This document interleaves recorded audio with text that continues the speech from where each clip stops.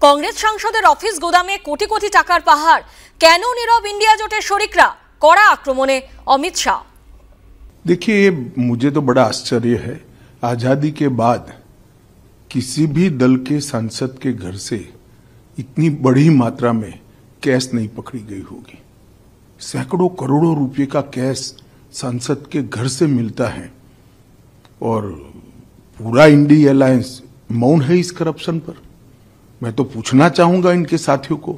कांग्रेस का मौन तो हमें सम, समझ में आता है क्योंकि इनकी फितरत ही भ्रष्टाचार की है।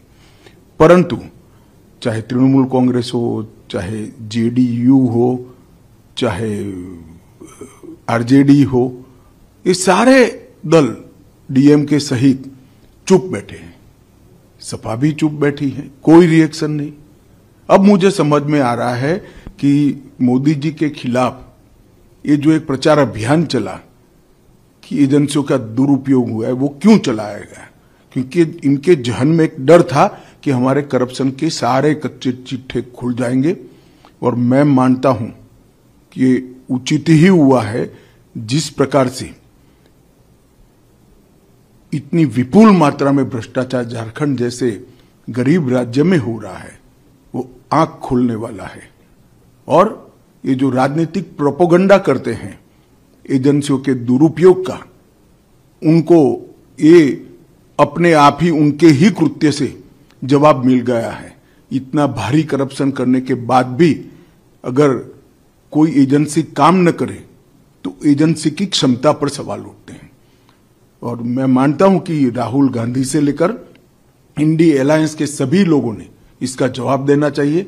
भारतीय जनता पार्टी ये मसले को बहुत नीचे तक इस देश के जन जन तक ले जाएगी और जागरूकता लाने का प्रयास करेगी। हमारी लड़ाई 2014 से भ्रष्टाचार के खिलाफ है। ढेर सारे कदम नरेंद्र मोदी सरकार ने उठाए हैं, प्रधानमंत्री जी ने उठाए हैं और इस दिशा में हम जन जागृति लाकर इसको ज़रूर लोगों तक पहुंचाएँगे। কংগ্রেস নেতা সৌম্য আইচ রায় এই মুহূর্তে টেলিফোনে আমাদের সঙ্গে রয়েছেন। সৌম্যবাবু, আপনি শুনলেন অমিত শাহর বক্তব্য, যেখানে তিনি বলছেন যে কংগ্রেস কেন নীরব সেটা আমি বুঝতে পারছি, কিন্তু কেন নীরব ইন্ডিয়া জোটের শরিকরা, তারা কেন কিছু বলছে না? দেখুন, আমি প্রথমে একটা কথা বলি, আপনি আচরি ধর্ম পড়ে শিখাই। কংগ্রেসের নেতা বা কে যারাই করে থাকুক, যে করুক এক্স ওয়াই জেড কোমরে দড়ি বেঁধে ঢুকিয়ে নিন। দল এর সবের দায়িত্ব নেয় না।